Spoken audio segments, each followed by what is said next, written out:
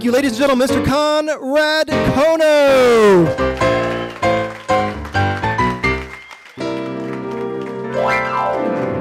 All right, who's here to have some fun tonight? So my name's Dean Noble. By day, I'm the marketing director for the world's most beautiful zoo, the beautiful Santa Barbara Zoo. And on occasion, by night, I get to host the world's premier improvisational comedy science night. Not that we have much competition. And what we're trying to prove is this equation Does art plus science equal comedy squared? Or as I like to say, art plus science equals comedy for squares. So now what we're doing is we are pairing up three improvisational comedians up here from Los Angeles with three local scientists. But you guys play an important role in the show tonight. We're going to be coming to you from time to time for su suggestions. We have three judges here in the front row.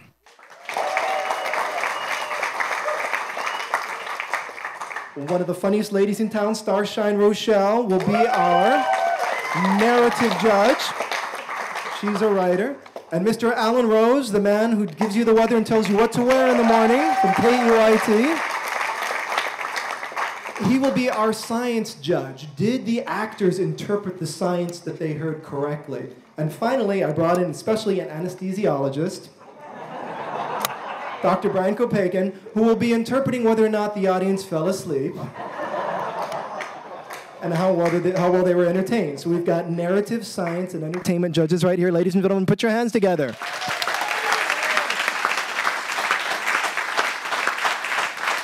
Now they will they will be scoring from a low of a zero. Let's see. Oh yeah, tell them how you feel. Come on, one, two, three. To a high of a five. And we may not see any fives tonight. We'll see. It's like Olympic figure skating. Sometimes they save them till the very end, and you're not quite sure how they got that score. Now, ladies and gentlemen, without further ado, I'm going to introduce our teams, and we'll go ladies first. We'll start with Christina Bozer from the Nature Conservancy and her partner, Joe McGinley. Where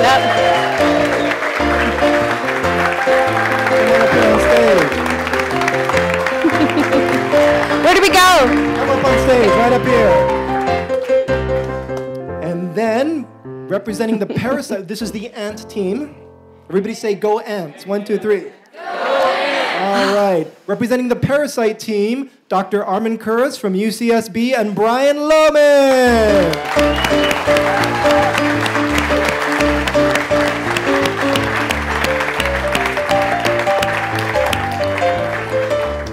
All right, everybody say go parasites. One, two, three. Oh, they could be. All right. And last but not least, the snake team. On the snake team, we have, hold on just a second, they'll enter in a moment. hold on. Dr. Amanda Sparkman from Westmont and her partner. We are so glad that the statute of limitations for using a fake ID on State Street has finally expired. Our gauchos, Thank you. Stephen Kearin. Down just a on them. Thank you. All right, everybody say go snakes. One, two, three. Go snakes. All right. so, scientists, why don't you have a seat on that couch over there? Actors, please remain on stage. Uh-oh, okay. Now, guys, uh, come on, this is a zoo here. And when I introduced the snake team, what noise did you guys make? I see we have some minds to change here. So, um, we, Uh-oh. I got a request for the actors to do some more Jane Austen. So, oh. some of you were interviewed bef- before the show for a few words or phrases about how you feel about snakes. So, throughout the course of this Jane Austen scene, the actors will occasionally bend down, pick it up, and read your quotes and incorporate them within this Jane Austen scene. Okay, All right? Take it away, folks. This is not to be scored. okay.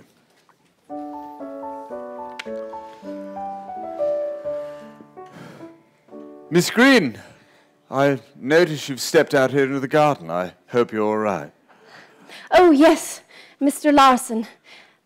Uh, Mrs. Emerson, she freaks me out. I don't know why.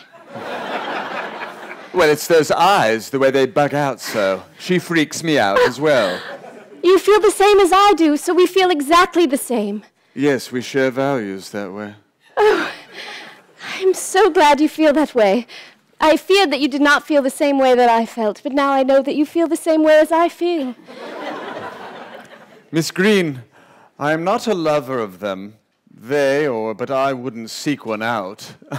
I've stumbled over my words so horribly, but I think you know what I mean. I'm sorry.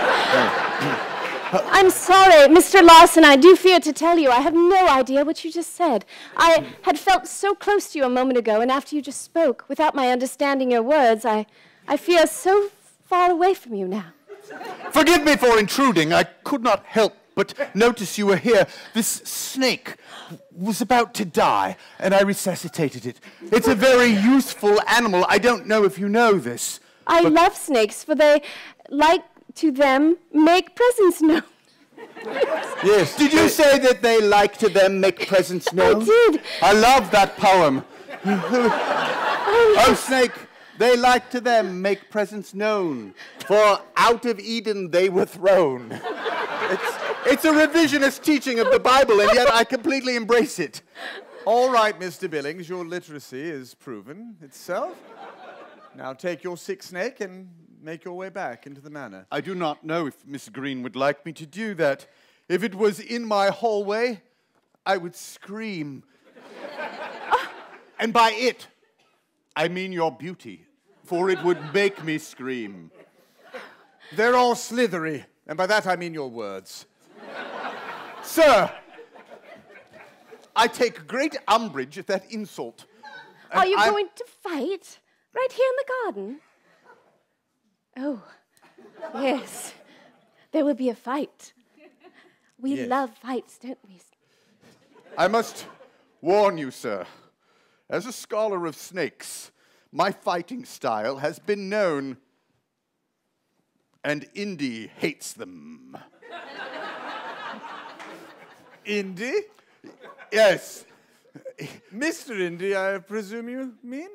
yes, I, I actually mean ND, uh, Northrop Desmond, the vicar at the nearby cottage. Oh, yes.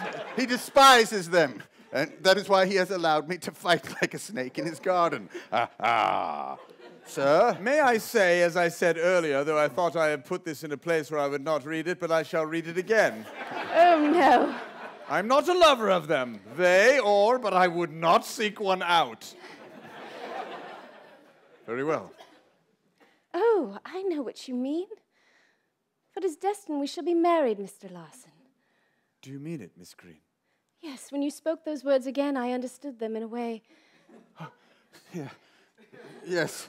When Let a woman returns her snake to you, there is no reason to linger. Come. Come, join me. Indy hates them. We've established that. but what I mean to say, likes that they're lethal. I likes that they're lethal, Miss Green. And they are silent and occasionally deadly. And blackout. Thank you. All right. Uh, let's get uh, Dr. Sparkman. Will you come on up to the uh, the throne we have working this evening? Um, Amanda's going to tell us a little bit about her work with uh, snakes out on the Channel Islands, and then our improvisers are going to recreate the scene on stage. But to make it interesting, this time we're going to send Brian and Joe out of the room.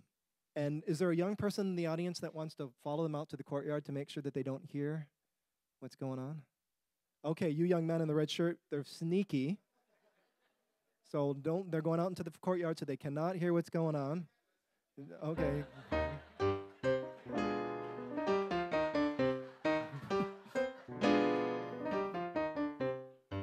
They go. Okay. All right, Dr. Sparkman, Westmont University. So you go out. Which which Channel Islands do you go out to? I go out to Santa Cruz Island and Santa Rosa Island. And what are you what are you measuring out there? Well, I'm interested in the evolution of dwarfism and reptiles. So um, there's three subspecies of mainland reptiles that live out there that are much smaller body sizes. So you're you're examining snakes out there. Yes. Do you like get the snakes out of their holes? How do you find them? Um, no, interestingly, there aren't any burrowing rodents on the Channel Islands, so there are very few holes actually for them to be in.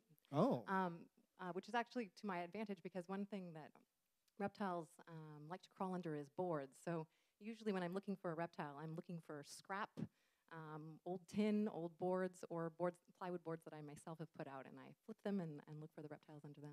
And what kind of, let's pick a species of snake that you might study. Or what yeah, the, so the two species of snake out there that I'm studying are the western yellow-bellied racer and the um, uh, gopher snake, island gopher snake. the western yellow-bellied racer and the gopher snake. Yes.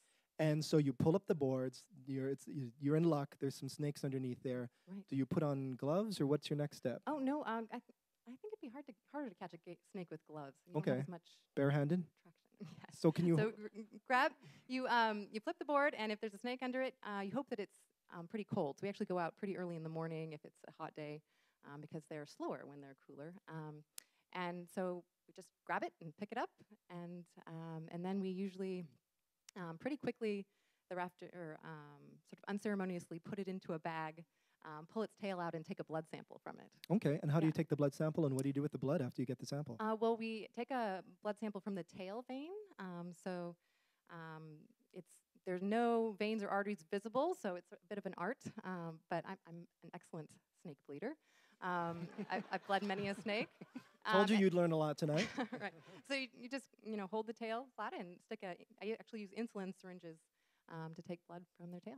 And then what do you do with the blood? What can the blood tell you about the western yellow-bellied racer or the gopher snake? Well, so I, I get a few things from the blood. Um, I, I'm interested in different hormones that are involved in evolution of body size and lifespan and reproduction. So we can measure some hormones from there, different immune factors, and we can also get DNA from the blood pellet. So we can ask questions at the genetic level. Wow. Now, how many snakes can you hold at once?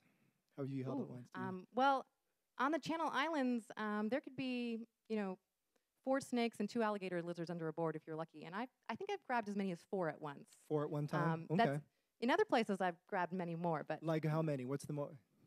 Um, well, I'd say, with, but with garter snakes, I probably grabbed maybe five to ten at a time. Five yeah. to ten at a time. Wow, mhm. that's very impressive. Yeah. So back to the Channel Islands. Do you sex the snakes? How can you tell a male from a female? Yeah. So, um, so with smaller snakes, it's actually pretty easy to tell the difference just from the, looking at the tail. So, um, males, so males have um, paired hemipenes, so basically like two penises, one on each side, and the tail is sort of broad for making space for those, whereas the female tails taper much more quickly.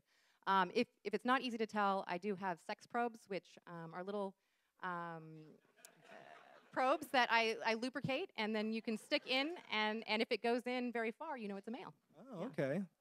Um, do you also? But now you also run an, an interesting test for predation. Um, are you referring to behavioral trials Yeah, that, that I do? exactly. Yeah. So one of the things that I, I'm interested in also is, is how behavior might have evolved on, on islands, as well as body size um, and other traits. So um, we started doing some behavioral trials where we um, basically stick um, the snake in a bucket or sort of a garbage pail. Um, and we, we are interested in their exploratory behavior, so we video record them, kind of how they move around the bucket, tongue flicks, things like that as they're exploring. And then we simulate a, a predator attack just with a stick that we kind of place in the butt bucket a few times and, and see how they respond. If they strike at it, if they hiss, if they just curl up, um, if they don't do anything. Well, I mean, aren't all snakes alike? I don't understand. No, no. Um, yeah, so, well, the different species can be very different in their exploratory or aggressive behavior. Most of the snakes I work with are pretty um, gentle animals, in fact. Um, but even within a species, there's all kinds of individual differences. The study of evolution of animal personalities is actually a very large field right now. Snakes have personalities. Absolutely, yes. Well, that's yeah. awesome. All right. Get all that, Stephen? Okay. Let's have Brian and Joe come back on in. Dr. Sparkman, have a seat on the couch.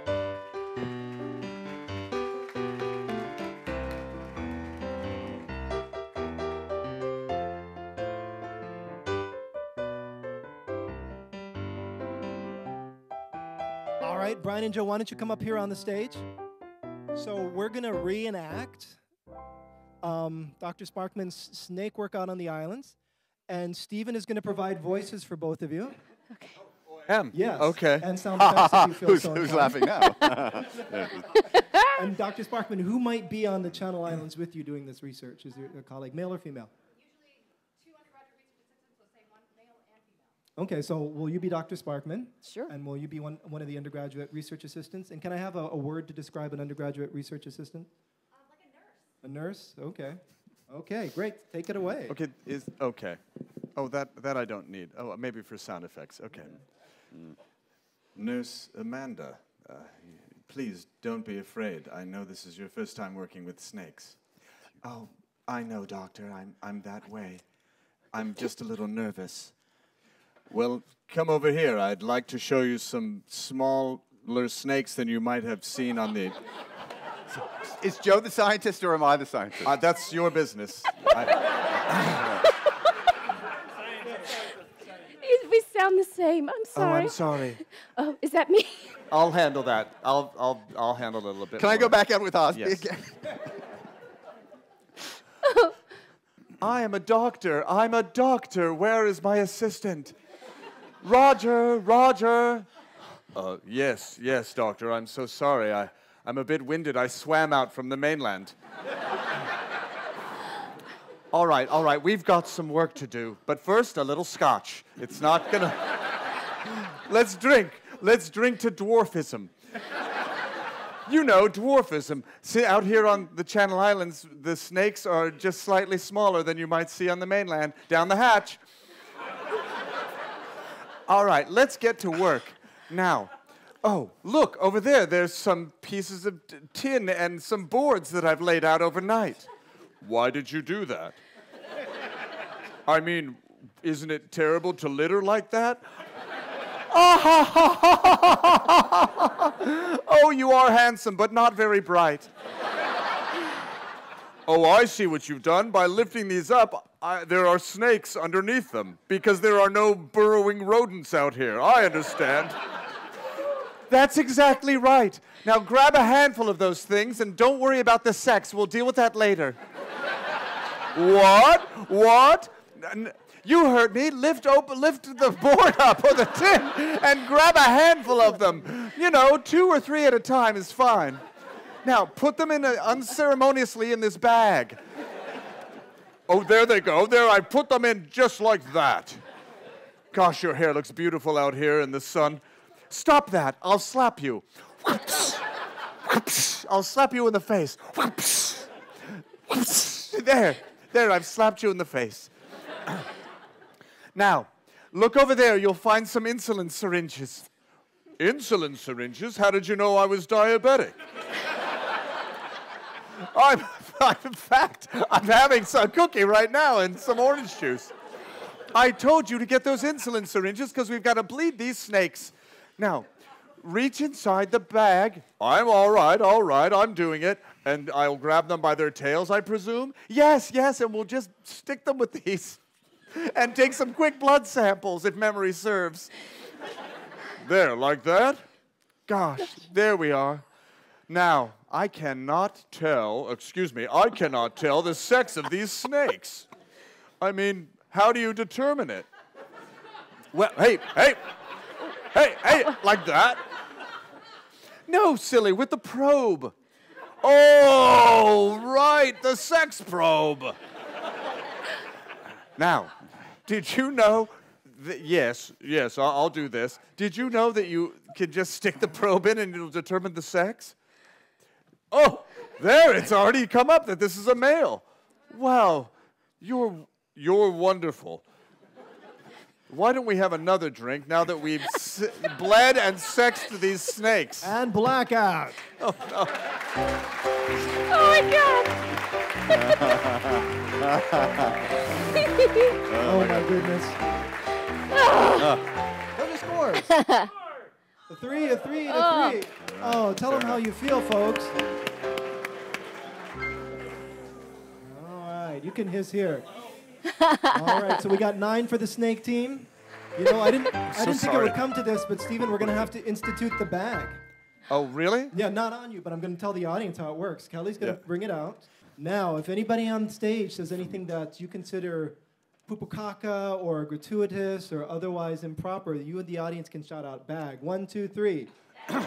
and the offending player will need to wear the bag in the next scene and incorporate the bag in the scene.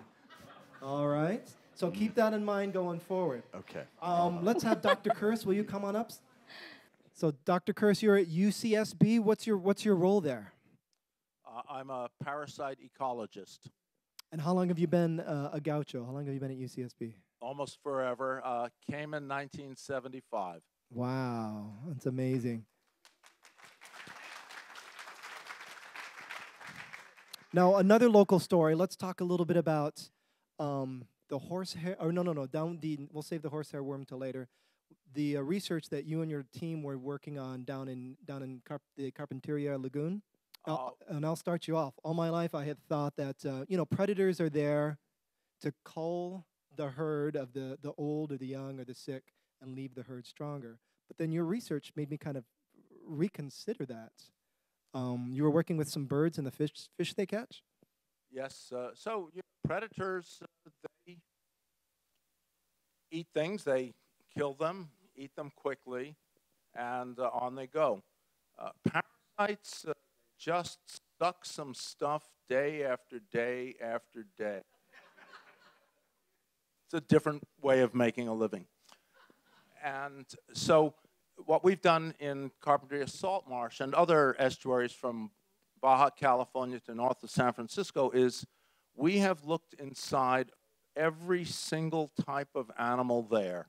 And uh, so uh, when you look at uh, that and you just try to imagine how much tissue there is that's parasitic in these things, we can sum it up. We've actually made the, uh, estimated the this uh, this biomass, and when it comes up, it is the equivalent of top predators. So we all know Carpinteria salt marsh.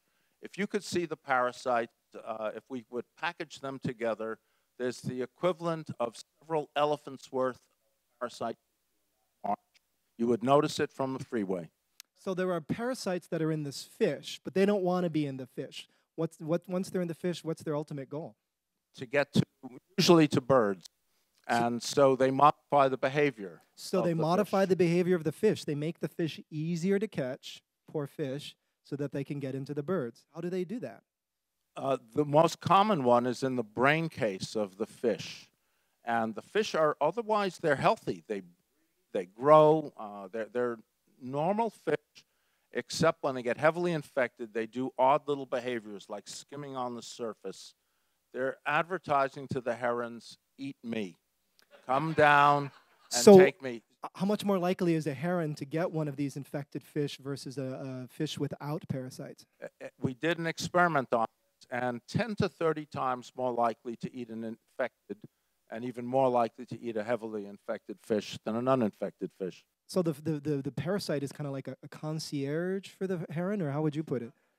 You know, I think uh, we look at it as the parasite is playing God. It is the determinant of which fish dies that day. Wow, That's very Old Testament. that is very Old Testament, frighteningly so. It's almost like you know the pizza boy shows up and then never leaves. The other kinds of parasites are how much do you tip the pizza boy? Uh, in terms of why is the bird eating that fish? It's parasitized. And in fact, it, while it does terrible things ultimately to the fish, it just does very little to the bird. Now, does this happen in mammals at all? Uh, yes, yes, yes. Can you give a quick example, or is it? Uh, probably the most famous one is uh, uh, toxoplasma, uh, the protozoan that uh, it's all over the world. Uh, many people are infected with it. Uh, it's a little incident of flu that many of us have had at some point in our lifetime, just once, and then it goes quiet. But in uh, some of the uh, rodents and things, it affects their behavior to the extent that with rats, rats are afraid of cats. But when rats have a lot of toxoplasma in them, they like cat pee. Wow. So They they, will actually seek out. out.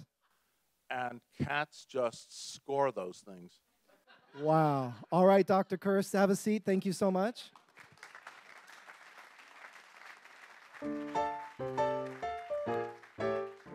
All right. So we heard a little bit, I don't know, that changed my opinion reading about those parasites insofar as how they affect prey. So Dr. Kuris talked a little bit about, t- told us those stories. Our improvisers are going to interpret it. Could you guys do it in a film noir?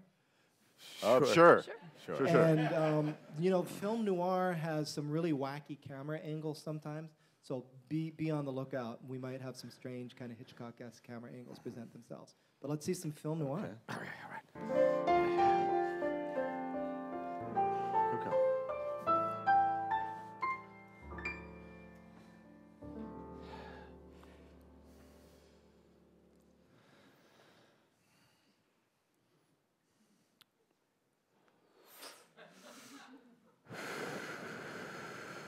Tell you, he's been acting real strange.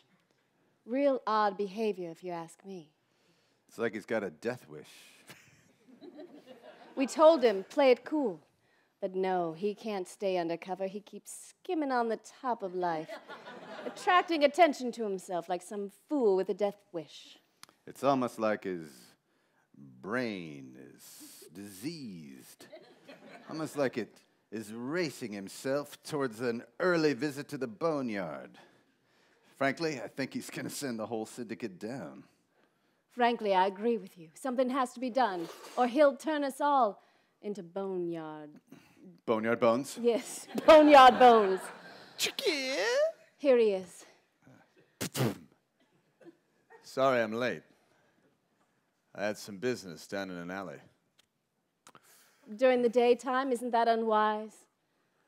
Well, sure, but I just looked down there and I saw there were a bunch of beautiful cats hanging out down near a dumpster. Listen, Something Rod. You can't go down that alley anymore. What do you mean? You're getting too close to danger. Come on, Joe. It's just Look, those cats at the Kitty Cat Club, you think they don't know that you're out there looking at them, peeping through the window, walking around outside? When I left the army with you, I thought, oh, my brother, Rod Dent, was going to come with me. Wherever I went, whatever job I got. And now that we're working for Mamesy, just, just take your check and follow your orders. Stay away from the Kitty Cat Club, Rod. Now, come on, Joe. They just step out in that alleyway to relieve themselves after having a few drinks at the Kitty Cat Club. I can't help it. I just find my way in the afternoon down that way. There's no reason, really. I just feel strangely compelled and drawn. You can't even say strangely anymore. You're saying strangely. You just added a syllable to that, Rod. Rod, you used to be able to help it. Oh, when you and I first landed here, why, all you wanted was milkshakes and hamburgers.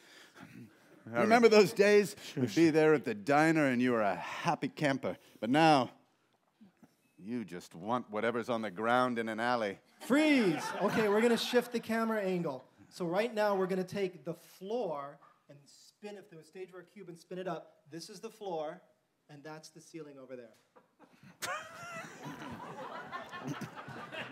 Now, I'm leaving right now with the same door I came in. Leave me alone. Come back here.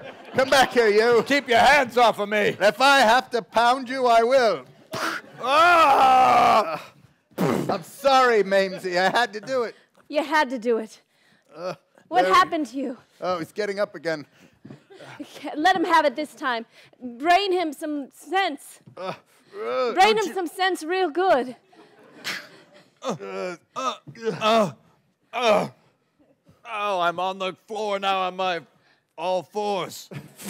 Free, freeze! Back to a regular camera angle.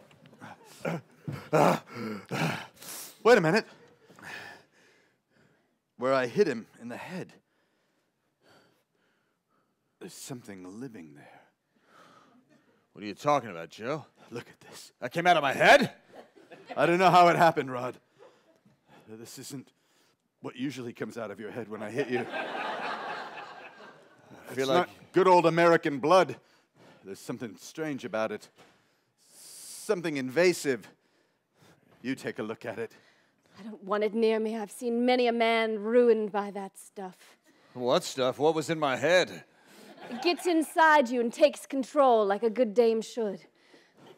But she ain't no good dame. That's one bad dame. Dispose of her. You know, ever since that came out of my head, I don't care so much for hanging out in the alleyway, but it would maybe like a cheeseburger and a milkshake like we used to. I'm sorry. but you had it coming. Blackout. Thank you. Judges scores.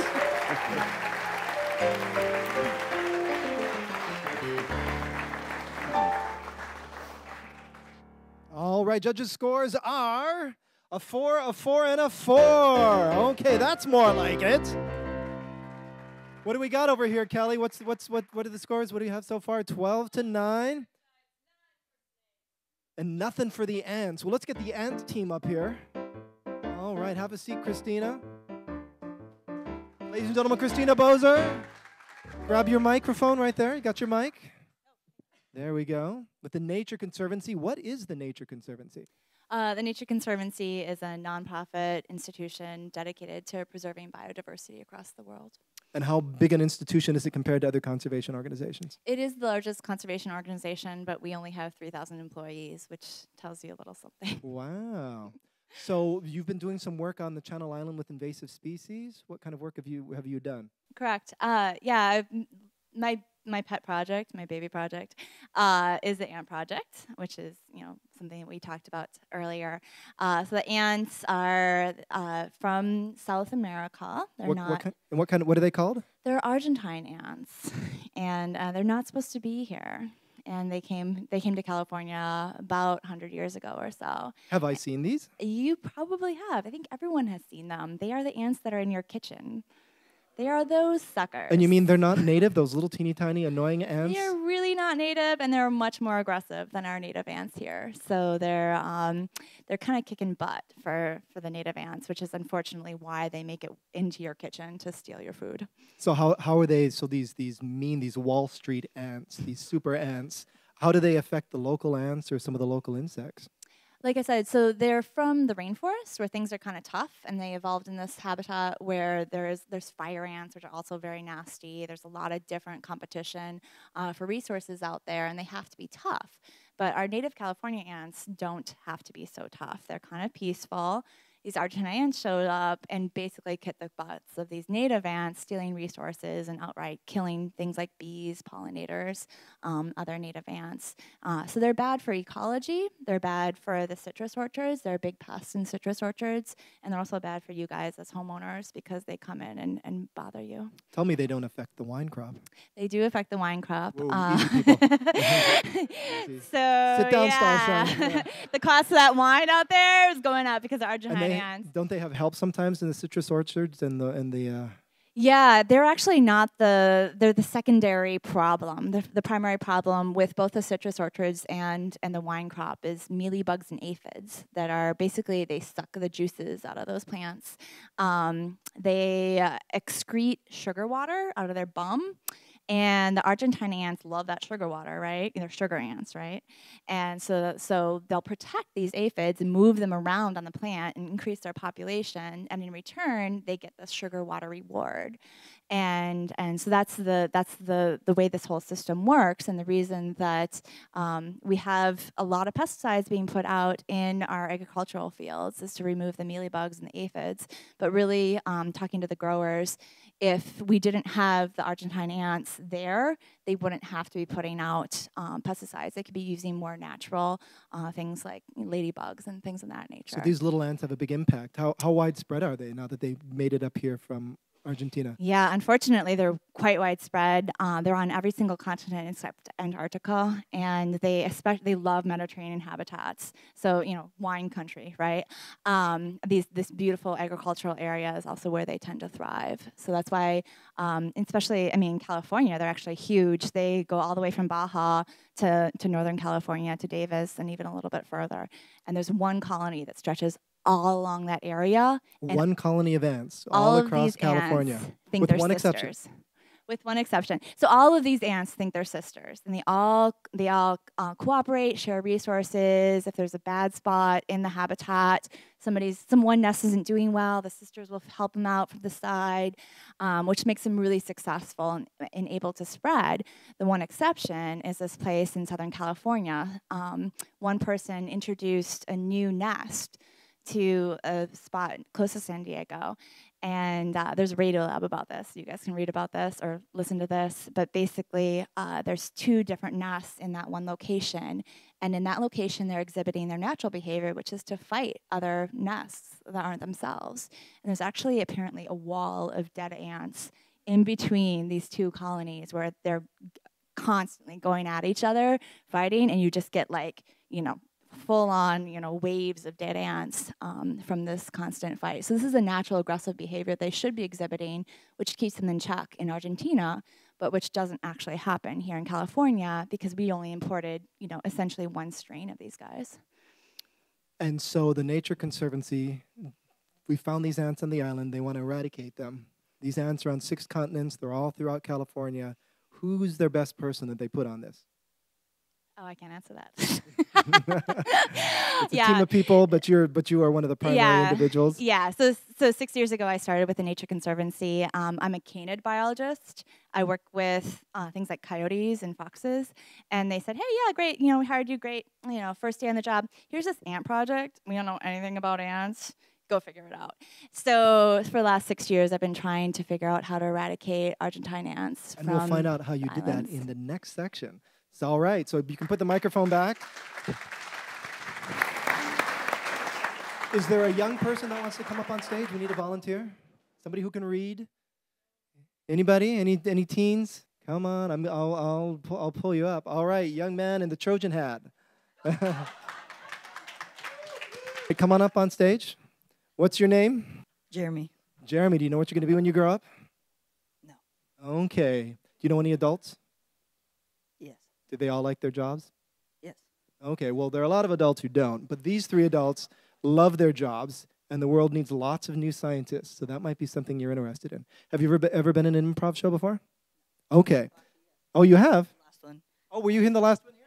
Yeah. All right, I knew you looked like you knew what you were doing. Well, yeah, you have grown. So, you're going to be in the scene, and you have four lines you can say, and they are okay, great idea, sound good to me, and mom will be so proud. And you can say them as often as you want and in any order you want, okay? So, I'm going to be giving you the microphone.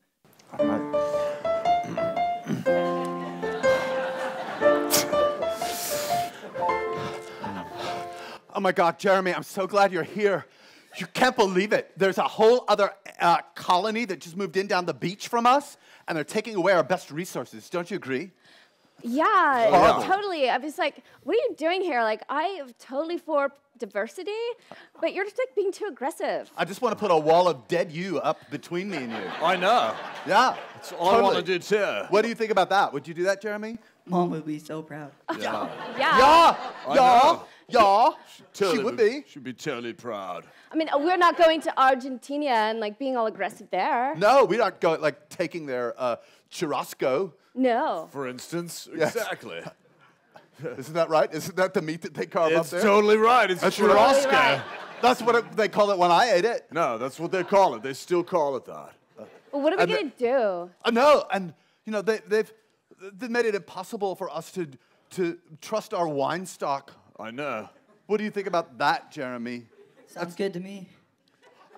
Oh, oh! Did you Jeremy. hear what he said? What do Did you mean by said? that, Jeremy? Oh, Whose side are you on? Yeah. Uh, whose side are you on, Jeremy? well, you weren't saying that at all when we were out tasting Cabernets the other week. Yeah. Yeah. You had a totally different attitude. You said, Yeah. what was it you You said? remember what you said? Okay. Yeah. Yeah. You said okay. We said, board. do, do you want another Cabernet? And you Yeah. said, Okay. yeah. Yeah, that's what I remember you saying too. Eh, We're not going taking their Malbec. Yeah. Cat got your tongue. Have they gotten to you? Yeah, did they get to you? Are Well- you an Argentinian now? You're wearing that Trojan hat, but I have a feeling you're secretly a gaucho. From Argentina. Argentina. Riding on the Pampas. Is that what you're doing? Secretly? God. Yeah, like a secret, like, like some sort of Argentinian Do you have a cowboy. bolo or something that you're like that, throwing? like that, I like that, I like that. Are you a private bolo thrower? Yeah, is that what Are you? you Are are? you? Yeah. Are you? Yeah. Sounds good to me. Yeah. Oh. All right. Jeremy. yeah.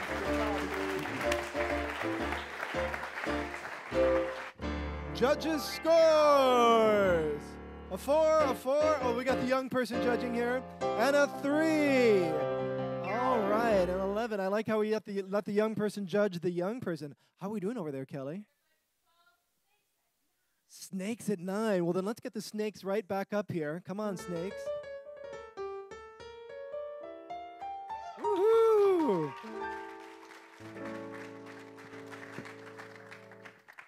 Now, speaking of adaptations, we were talking about something that I thought was really fascinating. This is up at Eagle Lake, is that right? Eagle Lake in Lassen and you're County. studying two different types, two s- of the same species of snakes, Right.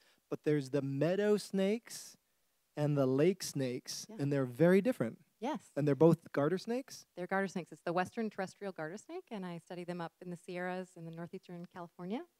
And um, so they live around Eagle Lake, which is the second na- largest natural lake in California. And the one, the populations that live along that lake, we call our lakeshore snakes. Um, and they um, grow really quickly to large body sizes. They have lots of babies, and they have short lifespans. Um, but just a few kilometers away in these mountain meadows, um, the snakes actually um, grow slowly to smaller body sizes, have many fewer young, and live much longer lives. So, what do we attribute that to? Is there, are their diets different? Um, so there's there's a lot of different hypotheses, and actually could be a lot of different things working together. Mhm. Um, one possibility could be differences in diet because in the lakeshore, primarily they eat fish. Um, on in the meadows, they primarily eat um, amphibians, um, and the amphibians really um, how many there are depends on snow melt. So how much snow, how much water pack, snowpack there's been in um, the year before, and so that they can breed. Um, so there's actually more variable prey availability for those me- meadow snakes than the lakeshore. So that could factor into their small body sizes to some extent. And is there a benefit to? I mean, why why why are, do they have these adaptations? How does it possibly benefit what's the uh, the lake or the meadow snakes? Yeah, so we call these actually life history strategies. So the lakeshore has a fast life living strategy, and um, the meadow has a slow living strategy. And we think one of the major things, even though there could be multiple things, is actually uh, predation differences. So differences in numbers and kinds of predators in these different habitats. And um, we have evidence that in the lakeshore environment, there's more abundant um, predators of, of all different sizes, and we think that it's actually selectively advantageous for snakes to grow faster to larger sizes so they actually get past the size at which they're interesting to most small predators. So they're yeah, so they're more likely to get eaten by a fish or a bird if they're small. So they Yes. better get get Right. get their growth on. But the uh, the uh, snakes up in the meadow don't have that same problem. N- well, we think that predation um, pressure is lower there, at least um, for smaller body sizes. Okay. And how long has this study been going on up at Eagle? Um, since the 70s, yeah. So it's a, one of the longest um, running snake studies in the world. Um, yeah.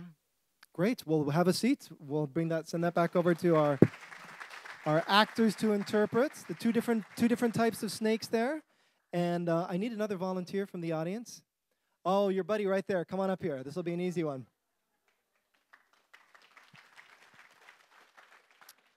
And what's your name? Danny. Danny. Where do you go to school? Uh, I go to Santa Barbara City College. Awesome. All right. What? Uh, just wait right here. So I'm just curious how Agatha Christie would interpret this. And can I? We are you too. guys all familiar Yeah. with Agatha Christie? Can somebody give the first name of an Agatha Christie heroine over here? Our sleuth. Her. Oh no, f- make up one, and it should be a lady. Harriet over here, and then can I have a last name? Harriet Smith. All right. And s- tell me something unusual. There's usually uh, Agatha Christie's sleuths usually have something quirky about them. What's kind of quirky about Harriet Smith? She walks with a limp. Okay. So, ladies and gentlemen, oh, and you, uh, Agatha Christie Misty, uh, mystery, can you lay down? All right. Cross your arms over your chest and close, close your eyes. All right, and don't move. All right, take it away. Yes, yeah, sure. Right this way, Miss Smith. Here is where the murder occurred. Oh, my. This poor snake was killed by some predator or other, apparently. I can tell by his size that he's a lake snake. Oh. Can you? Really? What is it about his size that uh, makes you able to determine that? Everyone knows. Oh, careful. careful. Uh, we've just waxed the floor Yeah. recently for dancing. Oh. Uh, Your lordship, are you quite all right? I'm all right. I'll just stay still. He died pleasantly, though, as lake snakes often do. They're, they're smaller in size and die easily and quickly. Are you sure you're not mixing that up I with a meadow snake? Because if memory serves, the meadows are lower than the lakes. Go careful, your lordship, careful. I'm just going here to this Perhaps book I've- on herpetology. There. Perhaps I've confused myself. He looks familiar to me, like I've seen him. I- It's often hard when you come upon a case and the person dead is familiar. You have an intimate relation with snakes. Yes. Uh, what an interesting life you must lead, Miss Smith. I suppose being a detective takes you in all sorts of places where you meet all sorts of species. Does. Thank you for noticing my extremely uh, interesting life. Yes.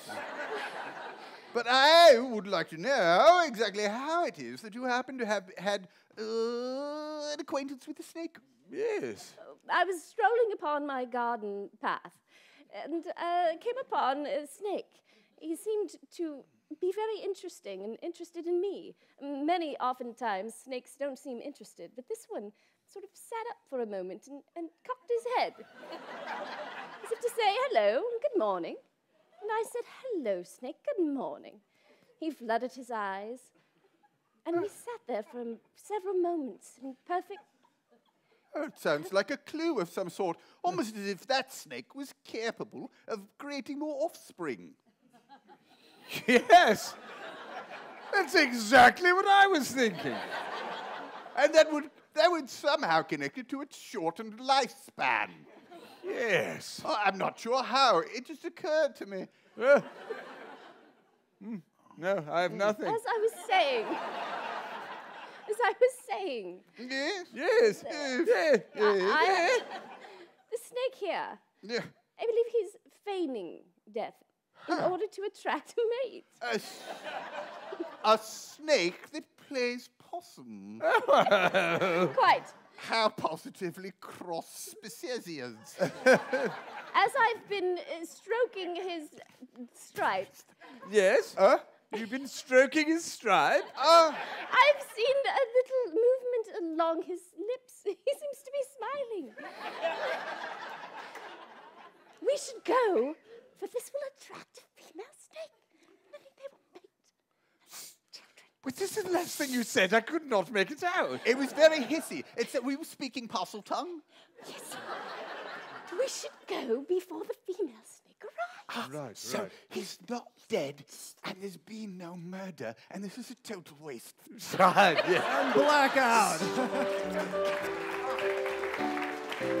Waste of time. Judges scores. Agatha Christie a four, five and a four. Whoa. Great job. Okay. Um, before before we dash out of here, let's have Christina come up one more time. I know you're all on pins and needles. Is exactly what happened with the Argentinian ants. So you've got a tough problem to solve. Um, did you just like drop a bunch of pesticides out there on the Channel Islands to get rid of them? Yes. no. Uh, yeah, so we so we had a tough problem to solve. We have Argentine ants on Santa Cruz Island. They're also on San Nicolas Island and San Clemente Island, and these are all ecological reserves that have a lot of biodiversity that we want to keep. And uh, so we had to develop a way to get rid of the Argentine ants.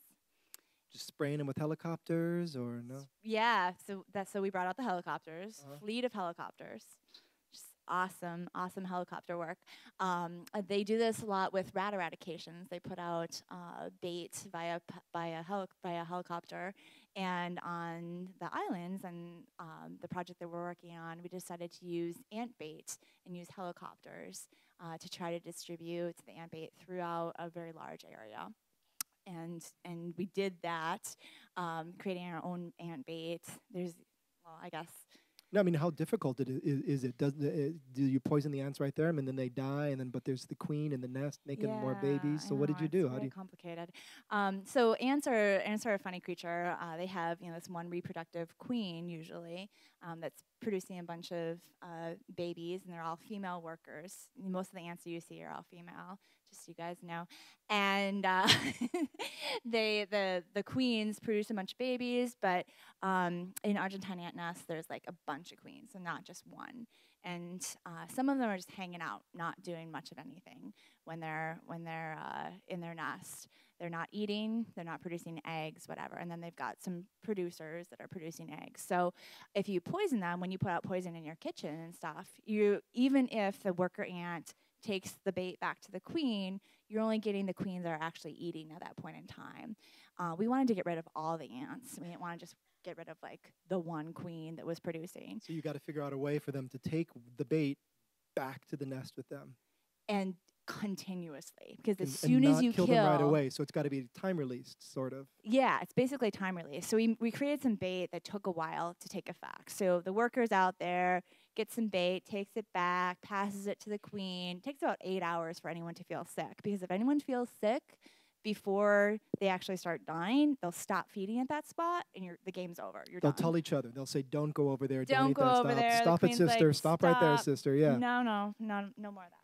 So anyway, so the queens are really smart.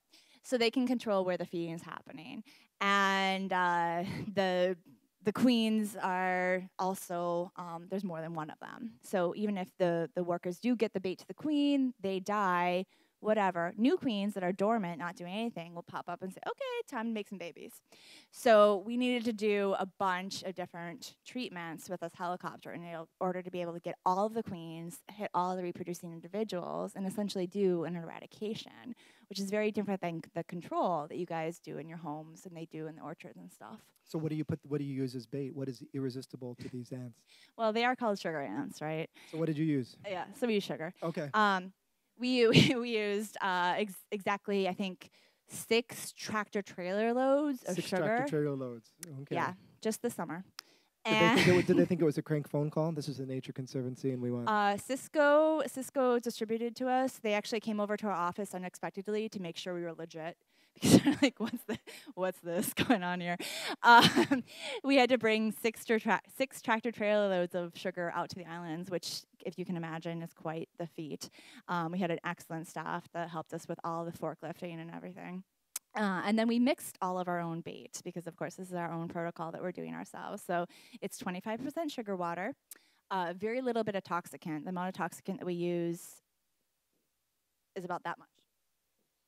One box of one box of the toxicant, um, and for, s- for diluted six a tractor trailer loads of sugar. for okay. six tractor trailers of sugar and a bunch of water. And uh, so, so we mix all that stuff together. Um, so sugar, the attractant, pest- a little bit of pesticide. Again, so little because it has to be the delayed reaction. But we put this out, you know, a couple different times to try to get successive rounds of queens. Um, and, and we've had a lot of success, fortunately. Uh, we have treated about a thousand acres on Santa Cruz Island and about Round of 500 applause. acres There on we go. Saving the saving the saving the wine crop. Yeah. Well, thank you, Christina. I think what we're going to do is go back to. Um, are there any young people in the audience? I'm not asking for a volunteer. Um, when I was your age, if you wanted to buy like a greatest hits album, you couldn't just go to I, iTunes and download it.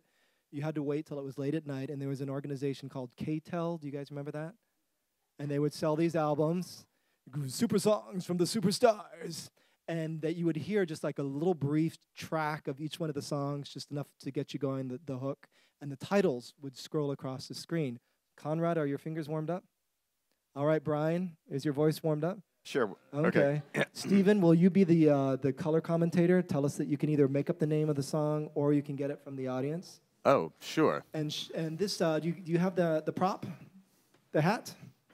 So, um, can somebody make up the name of sort of like a Frank Sinatra type singer, somebody who sings standards over here? Can I get a first name? Chet. and can I get a last name over here? Chet Erickson. All right, here you go. Do you want to use Har- the hat? Chet What, Harrison. what did you say? I said Chet Paris. Oh, Paris. All right, there you go. Okay, take All that. right. Oh, there it is. No, yep. Okay, Conrad. Ladies and gentlemen, super songs from the superstars. Ladies and gentlemen, you've been charmed over the years by the incredible vocal stylings of Mr. Chet Paris, or Chet Paris. including such incredible ant eradication classics such as Baby Died Tonight. Baby Died Tonight. I got a lot of sugar that I'm packing on me. I've come over and I'm gonna see you, baby, die tonight. baby, die tonight. Our love's too sweet, it can't take the heat, so I'll eradicate you, it'll be alright.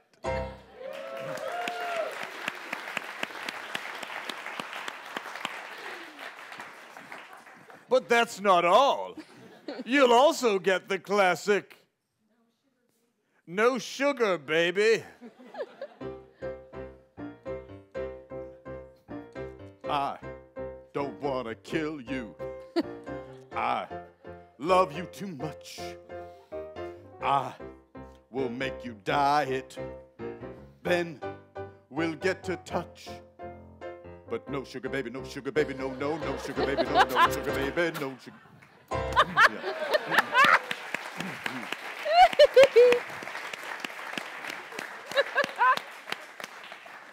Order now, and you'll also get the incredible hit. The queens are waiting. Oh, yeah.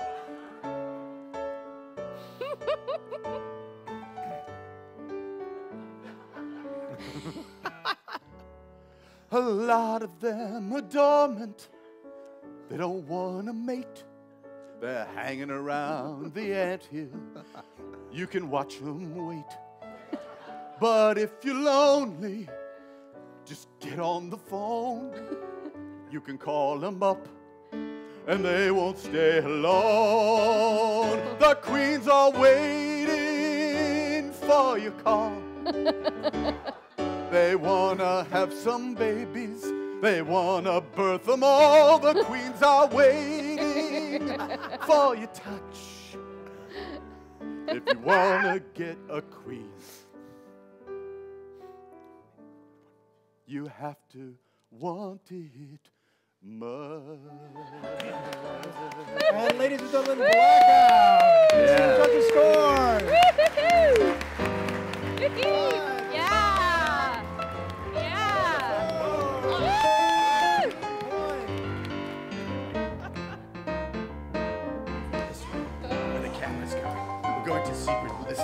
Where we